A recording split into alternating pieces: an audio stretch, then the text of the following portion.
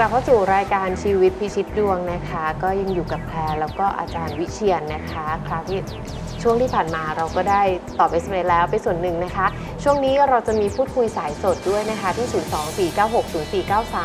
024960494 นะคะ SMS พิมพ์ VD ค่ะ วันเดือนปีเกิดเวลาเกิดและปัญหาที่ต้องการจะถามส่งมาที่หมายเลข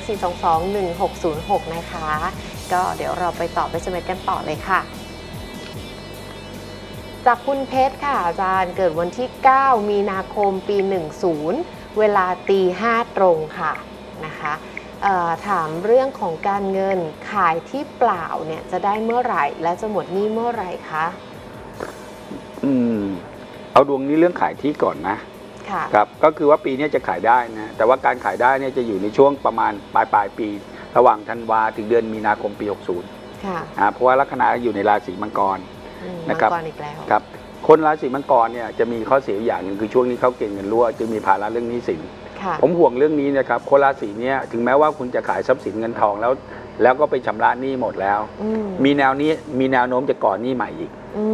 มนะครับเพราะฉะนั้นคุณต้องค่ะใช้จ่ายเงิน แล้วก็ควบคุมการใช้จ่ายเงินอย่างรอบคอบนะครับมิฉะนั้นน่ะนอกจากว่าคุณขายทรัพย์สินไปได้แล้ว เงินก็ยังไม่เหลือเก็บอีกน่านั่นแหละต้องเงินควบก็จะคุมไม่ให้ค่อยดีดีนะครับเท่าไหร่ที่เปล่าก็ปลายปลายปีใช่ครับ แต่ดวงนี้มีเกณฑ์ว่าจะย้ายถิ่นฐานเหมือนกันในปีหน้า ค่ะ จะย้ายไปอยู่ถิ่นฐานใหม่ในช่วงปลายปีของปี 60 นะครับเอาไปนว่าพอมีโชคแต่ดูแลรักษาเงินให้ดีๆมิฉะนั้นเดี๋ยวจะก่อนหนี้ใหม่ นะคะนะครับ ท่านต่อไปค่ะ คุณพิมนาราค่ะ เกิดวันจันทร์ที่ 16 ธันวาคม ปี 28 เวลาประมาณ 16 นาฬิกากว่าๆ นะคะ อาจารย์ ถามเรื่องของอาชีพความรักและสุขภาพค่ะ ดวงนี้เนี่ยเอ่อ ลัคนาราศีพฤษภนะในเรื่องความรักเนี่ยลักษณะดวงเนี่ยเป็นคนประเภทอกหักอืมซ้ำซากอืมก็คืออกหักบ่อยค่ะนะฮะโดยเฉพาะช่วงนี้อยู่เข้าเกณฑ์อกหักเลย เกณฑ์อกหักเนี้ยจะอยู่ถึงวันที่ 20 26 ตุลาของปี 60ค่ะงั้นตอนนี้ถ้าคุณมีความรักถ้าไม่ไม่อดออมถนอมน้ำใจกันดีๆ นะฮะจะไปกันไม่รอดยกเว้นกรณีเดียว คุณกับแฟนอยู่ไกลกัน เช่นค่ะหมายว่าติดต่อกันยากอยู่เป็นคนละจังหวัดอะไรอย่างเงี้ย ก็อาจจะพอให้ความรักยั่งยืนต่อไปได้ แล้วหลังจากตุลา60ก็นี่พอจะจะหากลัยบโรมาคได้นี้เลยไหมก็คะก็หายฮะก็แปลว่าจะกลับมาแต่ว่าดวงนี้เนี่ยนะมีมีแนวโน้มอีกว่า พอเข้าพศ63นะถึง 65 ก็อกหักอีกอืม มิฉะนั้นก็ต้องพัดพลากจากคู่รักค่ะ อีกครั้งหนึ่งเราทำยังไงดีแล้วคะพ้นอรย์จากปี 65 ถึงจะพ้นถึงจะหมดข้อกรรมอีเรื่อกงตั้ง นี้ 5 ปีเลยใช่เหอครับใช่ครับ โอ้โหนะครับ นะคะอะอ่าสุขส่วนเรื่องภาพสุขภาพเป็ไงนี่บ้งเอ่อในระยะนี้เนี่ยเรื่องสุขภาพเนี่ยไม่ค่อยดีนักอ่อนแอให้ระวังโรคที่เกี่ยวกับระบบภูมิแพ้นะครับค่ะแล้วโรคที่กำลังจะตามมา คือโรคเกี่ยวกับข้อกระดูกนะครับค่ะอาชีพล่ะคะ อาชีพที่ดีเนี่ยในดวงเนี้ยเป็นดาวศุกร์นะฮะ คนที่เกิดในราศีพฤษภอาชีพที่เหมาะที่สุดคืออาชีพที่เกี่ยวของสวยงามค่ะพวกแฟชั่น เครื่องแต่งกาย เครื่องประดับอืมและรวมทั้งงานฝีมือค่ะนะครับ ยกเว้นแต่คนมีความรู้มักทำงานด้านการเงินหรือการตลาดค่ะครับท่านต่อไปค่ะ คุณนีค่ะเกิดวันที่ 1 สิงหาคมปี 06 นะคะ เวลา 10โมง55 นาที เกิดลัคนาอะไรคะ การเงินเอ่อแล้วก็เมื่อไหร่จะขายที่ได้เหมือนกันลูกเป็นอย่างไรคะดวงนี้ต่อไปเนี่ยจะใช้ชีวิตร่วมกับลูกนะครับ แล้วก็ตัวลูกเองเนี่ยเป็นคนค่อนข้างดื้อ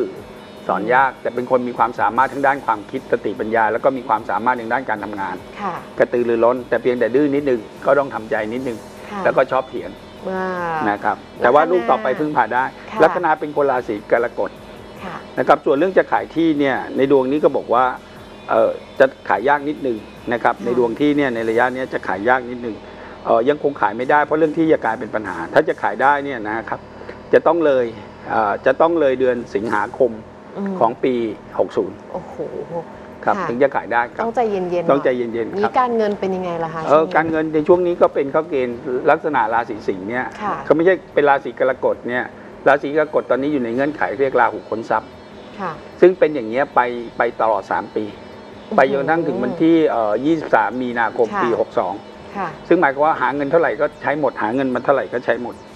นะครับแล้วมีแนวโน้มว่าจะต้องหาเงินพอได้เงินจากบ้านแล้วจะมีเกณอืฑ์มปลูกบ้านและย้ายถิ่นฐานใหม่ค่ะต้องซึ่งใช้ก็หมดเงินอีกด้วยก็หมดอีกอืมครับแต่ถ้าเป็นเรื่องของทรัพย์สินก็ยังดีโอเคก็โอเคฮะเขาบอกว่าค่ะดวงนี้มีเกณฑ์ว่าจะย้ายถิ่นฐานในภายใน 2 ปีข้างหน้า คือเริ่มตั้งแต่ปลายปีหกปลายปีอ่าตั้งแต่เดือนกันยาของปีเอ่อ60 ไปแล้ว อาจจะต้องย้ายบ้านหลังจากนั้นภายใน 1 ปีอืมก็ใช้เงินอีกแหละครับ อะสู้ๆนะคะ ท่านต่อไปค่ะ คุณอังควันนะคะอ่าเพิ่งเปลี่ยนทั้งชื่อและนามสกุลนะครับเกิดวันที่ 31 มกราคมปี 21 เวลา9โมงครึ่งนะคะสองหนึ่งเนาะสองหนึ่งเอาเวลาเก้าโมงครึ่งวันอังคารนะคะ ถามเรื่องของงานเงินโชคลาภและความรักค่ะ เออดาวความรักเนี่ยกำลังจะเหมือนพระอาทิตย์ขึ้นขอบฟ้านะ จะสมหวังแล้วก็จะมี คนรักนะฮะคนรักอาจจะเป็นคนต่างแดน หรืออาจจะเป็นคนต่างวัยนะครับค่ะหรืออาจจะเป็นไม้ก็ได้เขาเรียกว่าคนมีตำหนิอืมซึ่งจะเริ่มพบปะเจอเจอในเดือนกันยายนนี่แหละครับค่ะนะครับ แล้วก็เอ่องานเงินการงานเนี่ยนะครับปีนี้จะเป็นปีที่เรื่องงานเรื่องการเนี่ยนะจะยังไม่ค่อยดีนะเหมาะกับงานที่เป็นเป็นงานอิสระหรืองานงานที่ทำแล้วเป็นจ็อบๆไปนะครับแต่จะค่อยๆดีขึ้นนะครับโดยมีรายได้ดีขึ้นแต่งานอะยังไม่มั่นคงพออืมยกเว้นแต่คุณทำงานอิสระก็เป็นจ็อบๆไป นะครับแล้วมีโชคลาภอะไรอ๋อยังเข้ามาเอ่อบ้างปีไหมปีเนี้ยคะ ก็มีขึ้นเพราะปีเนี้ยรายได้จะมีมากขึ้นเรื่อยๆนะครับอืม นะแล้วก็มีคนชวนทำงานเปลี่ยนงานหรือได้งานจากคนอื่นแนะนำค่ะเพียงแต่ว่างานอาจจะอยู่ไม่นานนัก อืมยกเว้นงานอิสระค่ะ ครับ นะคะ มาท่านต่อไปเลยค่ะ จากคุณสุวัสด์นะคะ เกิดวันที่ 12 พฤษภาคม ปี 22 ปีมะเมีย เวลา 17 นาฬิกาตรงค่ะ ความรักการเงินเกิดวันศุกร์ครับนี่เกิด จริงๆเนี่ยเกิดติดวันที่นะ 12 พฤษภาคมปี22เวลา 17 นาฬิกา22ค่ะตามดวงเนี่ยตามปฏิทินบอกเกิดวันเสาร์นะไม่ใช่วันศุกร์ อืมนะครับอาจจะก็ก็จำผิดจำผิดหรือลองเปล่าดูนะคะ แต่เขาว่าบอกถ้าว่าไม่ใช่ 12 พฤษภาคม22 ก็ส่งเข้ามาใหม่ครับนะคะ ให้อาจารย์นะ ลงด้วยก่อนเรื่องของความรักกับอ่าการเรื่องของความรักงิเนี่ยตอนนี้เนี่ยนะครับเอ่อในดวงตอนนี้เนี่ยเรื่องความรักเนี่ยนะครับก็มีแนวโน้มว่าจะเป็นปัญหารักซ้อนอืม นะแปลว่ามีรักซ้ำซ้อนกันอยู่นะแล้วก็ค่ะ ในที่สุดเนี่ยจะมีคนจากไปคนหนึ่งค่ะ นะภายในสิ้นปีเนี้จะจากไปหนึ่งคนงั้นการจากไปตรงนั้นอาจจะทำให้ความรักคุณลงตัวก็ได้ค่ะนะครับเพราะตอนนี้มีมีลักษณะรักซ้ำซ้อนนะครับแล้วก็ปีหน้าความรักคุณถึงจะเริ่มมั่นคงอืมนะแต่ปีนี้เป็นลักษณะรักซ้อนกันค่ะอ่าการมีเงิโอนกาสเปลี่ยนแปลงค่ะการเงินนี่ในระยะนี้นี่เอ่อดวงนี้มีเกณฑ์จะต้องมีปัญหาทางการเงิน หรือว่ามีเกินรั่วไหล โดยเริ่มรั่วไหล หรือใช้จ่ายเงินสูงเนี่ยตั้งแต่เดือนสิงหานี้เลยแหละครับค่ะนะครับแล้วก็จะสภาวะเงินเนี่ยจะเข้าเงินขาดมือไปจนถึงวันที่นะครับ ประมาณเดือนกันยายนของปี 60 ถึงจะหายอืมงั้นช่วงนี้หาเงินบ่อยๆ เก็บเงินดีๆ แล้วค่ะประหยัดประหยัดนิดนึงนะครับนะคะไม่งั้นเงินคุณจะรั่วไหล หาได้มากครับ แต่จ่ายหมดโอ้แต่ไม่ก็ได้ยังแปลว่าดีนะหาไม่ได้นะหาได้มากก็ดีแต่จ่ายหมดนะครับอะเก็บหอมรอมริบนิดนึงนะคะ ตอนนี้มีหนึ่งสายจากทางบ้านมาแล้วนะคะ สวัสดีค่ะ สวัสดีค่ะสวัสดีครับค่ะเดี๋ยวค่ะขอสวัสดีทีมงานค่ะเพิ่มเสียงนิดนึงนะคะ ไม่ค่อยได้ยินเลยสวัสดีค่ะสวัสดีครับค่ะจากคุณอะไรคะ กัญญาค่ะ คุณกัญญานะคะค่ะเกิดวันที่เท่าไหร่คะ 24 กรกฎาคม24กรกฎา24 กรกฎาสองห้าสองสามเวลาเวลาเกิเกิดดตีห้ากว่าๆค่ะ ตีห้ากว่ากว่าๆนะคะ ครับค่ะตีห้ากว่ากว่าๆครับ โอเคดวงคุณในยตอนนี้เนี่ยนะครับกำลังมีเหตุกำลังจะต้องมีเหตุจะต้องเปลี่ยนหรือโยกย้ายงานและบ้านแล้วล่ะครับ ค่ะ ตกลงกำลังจะย้ายหรือเปล่าครับ ตอนถ้าถามว่าย้ายเนี่ยมันไม่มีนะคะนอกจากมีคู่มีแฟนอะคุณนั่นแหละคุณมีคู่ครับเพราะดวงบอกคุณกำลังจะตั้งหลักฐานใหม่จะจะย้ายไปอยู่กับคู่จริงภายในหนึ่งปีเหรอคะใช่ครับคุณดวงคุณกำลังจะย้ายไปอยู่คู่เพราะคุณเข้าเกณฑ์มีคู่ จริง ๆ คุณเข้าเกณฑ์มีคู่ ตั้งแต่วันที่เนี่ยพฤหัสย้ายวันเนี้ย11 สิงหาเป็นต้นไปเข้าเกณฑ์มีคู่ คู่นี้เป็นคนต่างวัยหรือเป็นไม้หรือเปล่าครับ ตอนนี้ยังไม่ทราบค่ะ อ้าว แล้วบอกว่าจะมีคู่ก็ตอนนี้มันยังโสดอยู่นี่เอาถ้าโอเคย้ายก็ต้องแบบนั้นนะคะก็ใช่ครับ คุณจะมีดาวคู่เข้ามาครับในปีเนี้ยหลังจากเดือนประมาณเดือนสิงหาไปแล้วพอพฤหัสย้ายเข้ามาราศีกัน คุณก็จะเริ่มมีคู่อะครับ แล้วเดี๋ยวก็มีเหตุให้ต้องย้ายบ้านค่ะแต่ว่าย้ายของคุณเนี่ยเป็นลักษณะไปไปมามานะไม่ได้ย้ายไปถาวร